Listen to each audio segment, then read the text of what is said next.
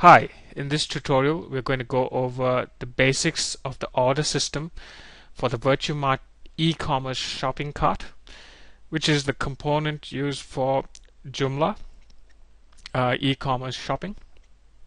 So um, basically when a client adds a product to his cart he is um, asked to check out of the system and he is prompted by the system to sign in with an existing account or sign up to an uh, to a new account. Um, the system has all the basic functionalities of um, user activation. So once you try to set up a new account, it sends the user an activation email. Um, very basic things that are normally um, essential for an e-commerce system.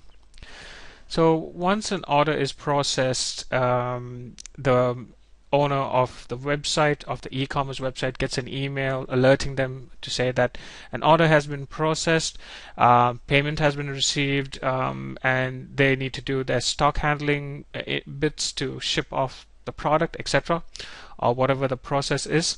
Um, the client who is logging into the website and ordering the product also gets an confirmation email saying that they've ordered the product. Either uh, the product needs to be paid for, or the product has been paid for and that they've received a receipt for that product. Um, so let's go through the process of um, how this order information can be accessed through the backend of the VirtueMart system.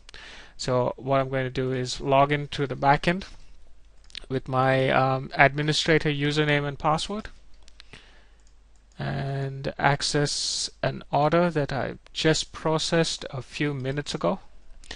So I log in here and when I log in I scroll to components VirtueMart and once I'm in the VirtueMart system I scroll to the orders tab and I list my orders.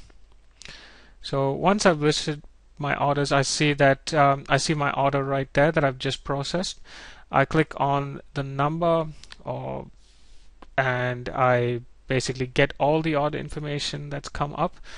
Um, this is basically essential in information for the owner of the website to review.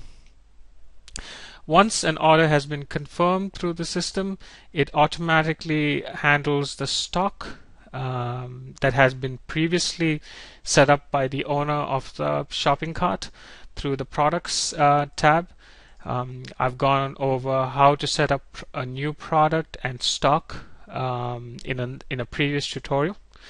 Um, basically when an order is placed it automatically handles the the stock. So if there are 20 stock for one particular item it will delete one and leave only 19 in the shopping cart um, effectively handling a stock process so that's basically how you access orders um, through the system here um, the only essential feature of this uh, of this order is uh, basically changing the order status. So for some reason, if the client's called up and canceled the order or wanted a refund of the order, um, they, this can be set up here.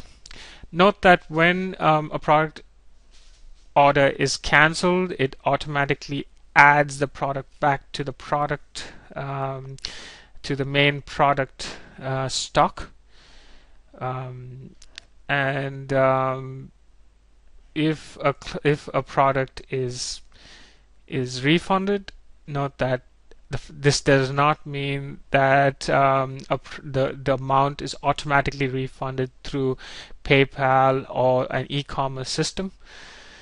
It's um, this this setting here is mainly meant for to track information through your VirtueMart system.